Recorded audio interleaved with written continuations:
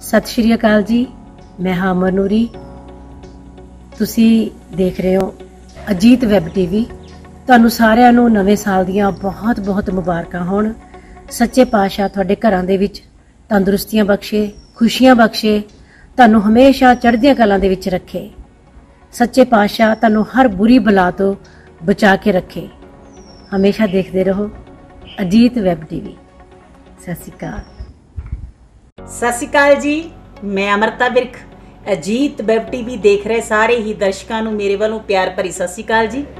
ਤੇ ਨਵੇਂ ਸਾਲ ਦੀਆਂ ਬਹੁਤ ਬਹੁਤ ਮੁਬਾਰਕਾਂ। ਪਰਮਾਤਮਾ ਕਰੇ ਕਿ ਇਹ ਨਵਾਂ ਸਾਲ ਤੁਹਾਡੇ ਸਾਰਿਆਂ ਲਈ ਢੇਰ ਸਾਰੀਆਂ ਖੁਸ਼ੀਆਂ ਲੈ ਕੇ ਆਵੇ। ਡਰ ਤੇ ਭੈ ਤੋਂ ਮੁਕਤ ਹੋਵੇ। ਪਰਮਾਤਮਾ ਤੁਹਾਨੂੰ ਦਿਨ ਦੁੱਗਣੀ, ਰਾਤ ਚੌਗਣੀ ਤਰੱਕੀ ਬਖਸ਼ੇ ਤੇ ਤੁਹਾਨੂੰ ਚੜ੍ਹਦੀ ਕਲਾ 'ਚ ਰੱਖੇ ਜੀ। ਹਾਈ ਦੋਸਤੋ, ਮੈਂ ਹੂੰ ਰਾਕੇਸ਼ ਬੇਦੀ। अजीत वेब टीवी के सभी दर्शकों को मेरी तरफ़ से बहुत बहुत बधाई और आने वाले नए साल की बहुत बहुत ढेरों शुभकामनाएँ। आप सब अजीत वेब टीवी देखते रहें एंजॉय करें और हमेशा खुश रहें। थैंक यू को हैप्पी न्यू ईयर विश करना चाहूँगी और मुझे लगता है कि मोहब्बत और अहिंसा से बड़ी सीख नहीं है। ये सीख आपको हम हमें बिल्कुल नानक से भी यही सीख मिलती है तो आई थिंक हमें उस चीज़ की रिस्पेक्ट करनी चाहिए।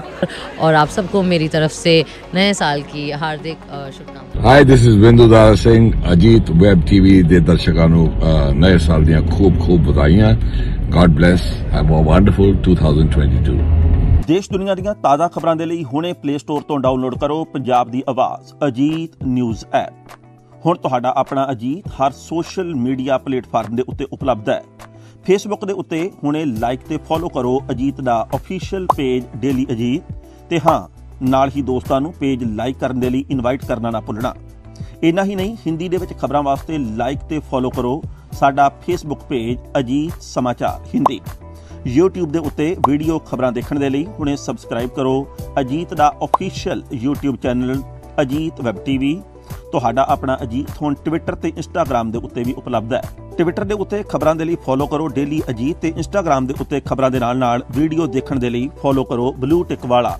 ਸਾਡਾ ਅਫੀਸ਼ੀਅਲ ਚੈਨਲ ਡੇਲੀ ਅਜੀਤ। ਇਹਨਾਂ ਹੀ ਨਹੀਂ, ਅਜੀਤ ਦੇ ਵੀਡੀਓ ਹੁਣ ਤੁਸੀਂ Apple TV ਦੇ ਉੱਤੇ ਵੀ ਵੇਖ ਸਕਦੇ ਹੋ। ਤੇ ਨਾਲ ਹੀ ਅਜੀਤ ਅਖਬਾਰ ਦਾ ਡਿਜੀਟਲ ਐਡੀਸ਼ਨ ਪੜ੍ਹਨ ਦੇ ਲਈ ਡਾਊਨਲੋਡ ਕਰੋ ਅਜੀਤ ਈ-ਪੇਪਰ ਐਪ ਤੁਹਾਡਾ ਆਪਣਾ ਭਰੋਸੇਯੋਗ ਚੈਨਲ ਤੁਹਾਡੀ ਆਪਣੀ ਆਵਾਜ਼, ਪੰਜਾਬ ਦੀ ਆਵਾਜ਼ ਅਜੀਤ।